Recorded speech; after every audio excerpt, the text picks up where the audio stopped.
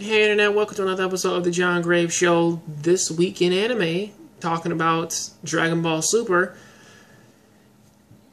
is actually a lot more easier to talk about than actually just about everything else that's that has been happening in Dragon Ball Super. Because the whole crux of this episode is is the fact that who will be the next two members who that who that they will ask to join in with their world defending like like battle and shit like that. Now, first, Vegeta says, "Well, why not ask Gohan?" But but Goku says that Gohan he can't join because Gohan's focused too much on his job and shit. So of course they ask Gohan because he wants to join and shit like that. But then they say, "Yeah, this gonna be here in four days?"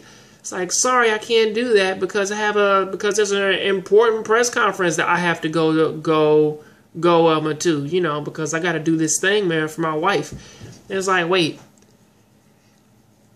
It's like uh, your planet could possibly end up in like another pocket pocket dimension, but yet conference, eh, you know, like after this whole talk about Gohan, pretty much like going from being like the character who fucking can't go Super Saiyan 2 anymore to now him saying I want to get way more powerful yeah, my job is yeah, man, my job is way more important than me having having the ability to protect my wife and daughter. So, eh. Um, little uh, a little Easter egg too. Goku did actually say something about Oob, saying that saying that this is the time period in which that Oob he was reincarnated in.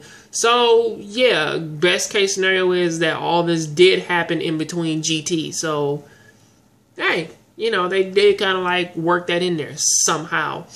Also, uh, they do decide to Goku and Vegeta decide to go hop in the hyperbolic time time chamber for the next three days. Then they use their abilities to to just beef the fuck up because they want to be stronger than this Monaka guy and some shit like that. I mean, this fucking this fucking Monica guy, and I'm like, I don't know who the fuck that is, but and I thought that they would would spend time of actually explaining like who the fuck that is, like how man he fought Beerus. But no, most of the episode is just is just a clip show.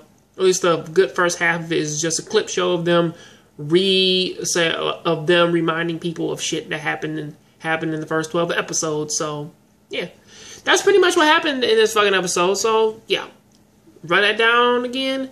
They want to find people who probably want to join their team. They ask Piccolo. Gohan wants to join, but says no. He has a conference, and then Beerus fucking asks the question, asks asks some questions, and Whis asks some questions, which sort of relate back to the first early twelve episodes, and some of them too earlier in this uh, in these two episodes. And that's pretty much where it ends at.